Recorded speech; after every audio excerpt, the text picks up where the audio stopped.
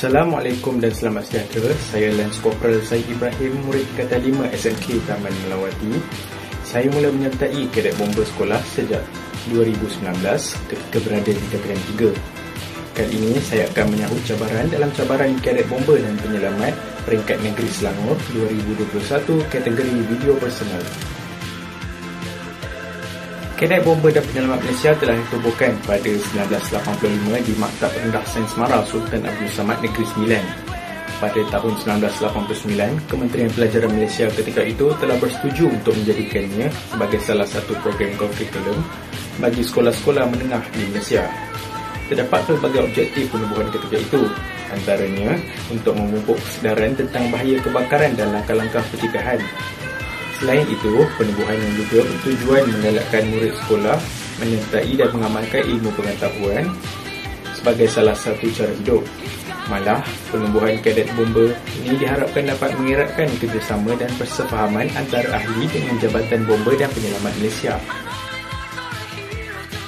Kadet Bomber dan Penyelamat Malaysia SMK Taman Melawati telah ditubuhkan pada tahun 2017 dengan nombor pendaftaran 186-2017 keahliannya terbuka kepada murid tingkatan 1 sehinggalah tingkatan 5. Kadet bomber sekolah mendapat khidmat jurulatih bomber dari Balai Bomber dan Penyelamat Ampang. Sehingga kini jumlah ahlinya seramai 146 orang iaitu 63 orang murid tingkatan 3 hingga tingkatan 5 dan 83 orang murid tingkatan 1 dan tingkatan 2.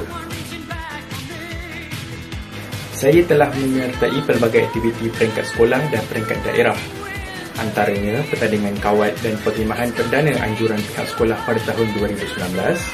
Pada tahun yang sama juga, saya dan beberapa ahli kadet bomber sekolah telah menyertai pertandingan kemahiran kebombaan daerah Gombak. Saya menyertai acara kawat kaki dan kawat operasi kering. Pada tahun 2020 pula, saya dan 12 orang ahli kadet bomber sekolah sekali lagi telah menyertai pertandingan kemahiran kebombaan daerah Gombak saya menyertai acara kawat kaki dan acara brain and brawl.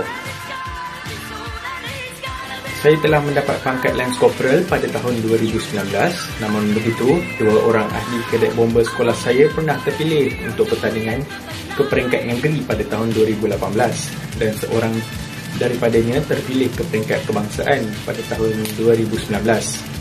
Kejayaan mereka memberikan satu semangat kepada saya untuk terus bersama-sama kadet bomber dan penyelamat Malaysia kerana banyak lagi ilmu dan kemahiran yang perlu saya pelajari. Saya banyak belajar tentang pengurusan masa, semangat berpasukan dan meningkatkan lagi keyakinan saya sebagai seorang ahli kadet bomber dan sebagai seorang murid sekolah. Banyak ilmu kebombaan yang telah saya pelajari sepanjang menyertai kadet bomber dan penyelamat Malaysia saya belajar tentang pertolongan cemas, ikatan dan simpulan, cara menguruskan latihan kebakaran di sekolah. Saya juga dapat belajar tentang alat pemadam api. Kawat kaki pula merupakan salah satu kemahiran yang menjadikan saya seorang yang lebih yakin dan berani.